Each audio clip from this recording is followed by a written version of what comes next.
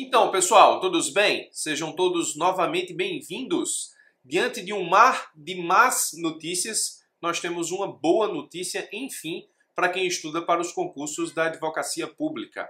Na última quinta, sexta e sábado, nesses três últimos dias, nós tivemos algumas notícias bastante interessantes sobre a possibilidade de termos num futuro próximo, e quando falo futuro próximo, falo 2020, o concurso da Advocacia Geral do Estado de Minas Gerais. Exatamente, a AGE Minas Gerais. No caso específico de Minas Gerais, não se chama PGE, Procuradoria Geral do Estado, como acontece em 99,9% das procuradorias estaduais. Lá em Minas, chama-se AGE, Advocacia Geral do Estado. Inclusive, essa forma de denominação inspirou a própria Advocacia Geral da União, uma vez que nós temos, no caso da União, não uma Procuradoria Geral da União como nomenclatura do órgão máximo da Advocacia Pública Federal. Nós temos uma Advocacia Geral da União, sendo a Procuradoria Geral da União PGU um dos órgãos da AGU. Lá na AGE é a Advocacia Geral do Estado de Minas Gerais. Bom, eu sei que no mar de más notícias, ter uma boa notícia nem sempre é algo que pode convencer muita gente.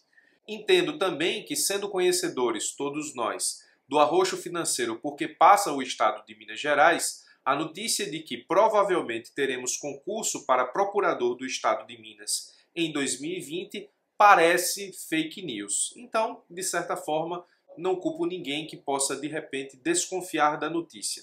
Ocorre que a notícia foi veiculada inicialmente pelo Lucas, do Só Procuradorias, que teve o cuidado de confirmar com algumas fontes a ideia que o governo do estado de Minas tem de realizar o concurso, e eu também, por meio de algumas pessoas conhecidas, eu tenho muitos amigos na advocacia pública como um todo, seja ela municipal, estadual e principalmente na advocacia pública federal, onde atuo. Tive contato com algumas pessoas ligadas à Advocacia Geral do Estado, ao que me confirmaram que existe a ideia de realização de concurso para 30 cargos de procurador de Minas a ser autorizado ainda esse ano com realização do concurso em 2020. Professor, veja bem, qual a chance disso se concretizar? E aí eu vou te dizer o que eu sempre digo. Nós temos a notícia da intenção da realização do concurso. E o que eu sempre digo aqui no canal, a realização do concurso passa por uma decisão política. É preciso se lembrar sempre que a advocacia pública não tem autonomia.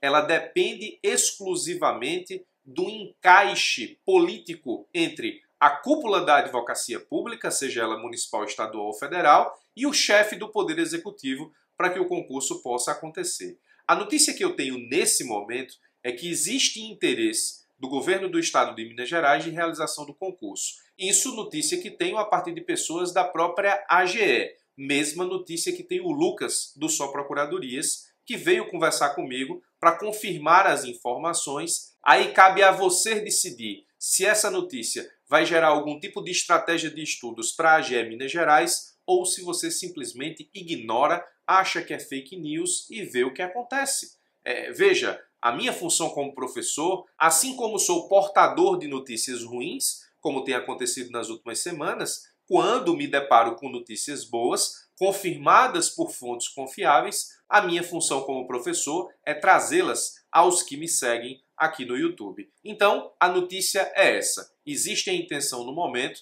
de realização de concurso da AGE Minas Gerais para 30 cargos, mais ou menos, de procurador do Estado. Aí, diante da notícia, obviamente, eu publiquei lá no Instagram inicialmente e começaram a chover dúvidas sobre as características principais do último concurso da AGE Minas Gerais. Eu ainda vou fazer um raio-x completo sobre o último concurso, o último edital e a última prova da AGE Minas Gerais. Mas as principais perguntas que me fizeram nesses três últimos dias, sexta, sábado e domingo, estão aqui condensadas. A remuneração inicial lá na AGE gira em torno de 30 mil reais. Existe um vencimento básico, em cima dele uma gratificação, somado aos honorários, tudo isso gira inicialmente em torno de 30 mil reais. O concurso exige três anos de atividade jurídica e o último edital disse que a atividade jurídica é aquela que é exercida de forma exclusiva por bacharel em direito.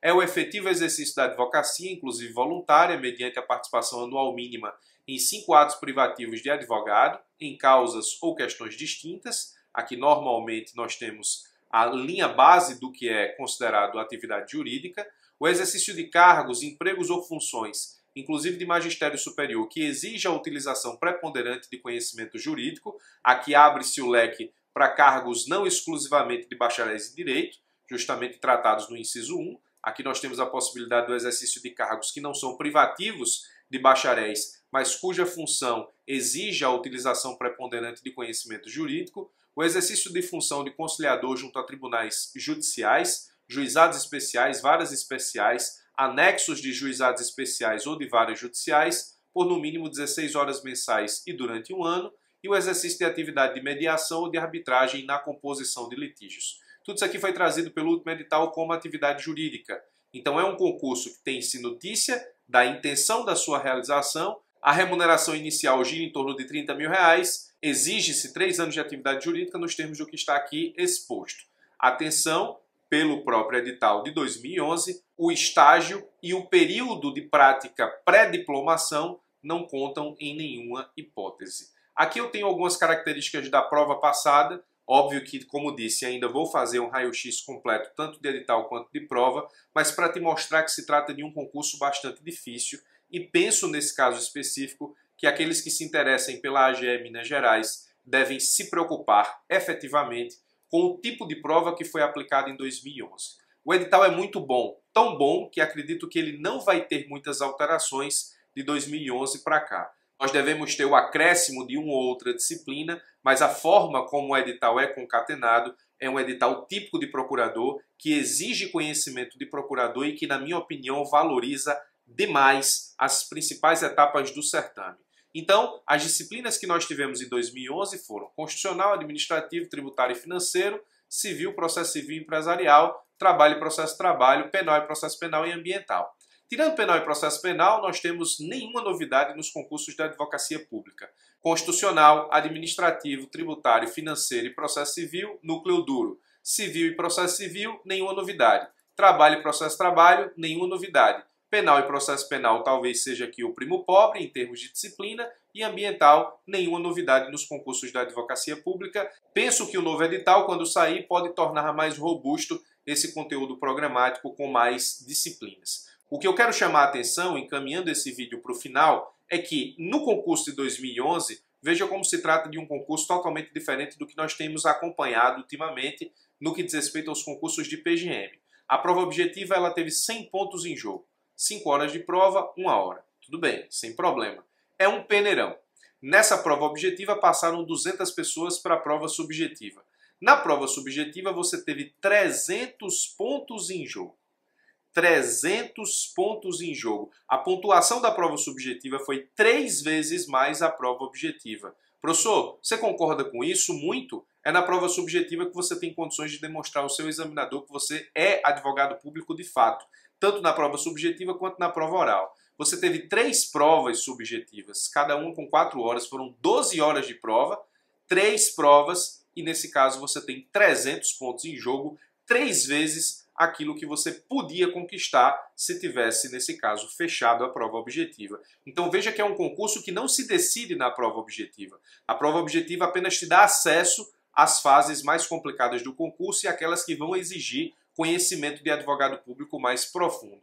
A prova oral foram 400 pontos em jogo, quatro vezes a prova objetiva e mais pontuação do que aquela que estava presente na prova subjetiva, ou seja, um acréscimo de 100 pontos. E os títulos apenas 10 pontos. Os títulos, nesse caso, valeram 10% da prova objetiva, a subjetiva três vezes a prova objetiva, a prova oral quatro vezes a prova objetiva. Então veja que prova subjetiva e prova oral na AGE 2011 foi fundamental para definir aqueles que foram classificados, aprovados e classificados para o concurso de procurador do Estado de Minas Gerais. Esse sim, um edital que te exige muito conhecimento para passar numa prova de procurador, um edital que muito me agrada, porque estabelece justamente a forma de classificação daqueles que, em tese, se encontram melhor preparados para o enfrentamento de questões subjetivas e orais, justamente os momentos em que você tem mais chance de demonstrar para o seu examinador que tem cabeça de advogado público suficiente para o exercício do cargo. Então, o que eu queria te apresentar de forma imediata acerca da AGE Minas Gerais está apresentado. Eu estou finalizando o raio-x do último edital e aí nós vamos analisar todos os passos porque passaram as pessoas aprovadas em 2011 na AGE Minas Gerais. Farei também o raio-x da última prova com base obrigatoriamente nessas disciplinas lá apresentadas para a gente saber inclusive o nível de cobrança da prova. Foi em 2011, mas o edital é tão bem feito e tão bem ajustado que eu imagino que ele sofrerá muita pouca variação para o que aconteceu lá em 2011 e o que pode acontecer em 2019, 2020. É isso. O Lucas do Só Procuradoria foi aquele que apresentou primeiro a notícia, ela chegou para mim depois, confirmei com algumas pessoas da AGE com as quais eu tenho contato que existe de fato a intenção de realização do concurso. 30 mil iniciais, 3 anos de atividade jurídica e prova anterior muito bem distribuída e elaborada em relação aquilo que se exige de alguém que pretende se tornar procurador do Estado de Minas Gerais. É isso. Eu vou ficando por aqui. Aguardo todos para os nossos próximos vídeos, inclusive raio-x do último edital e da última prova da AGE Minas Gerais. Forte abraço e até os nossos próximos encontros.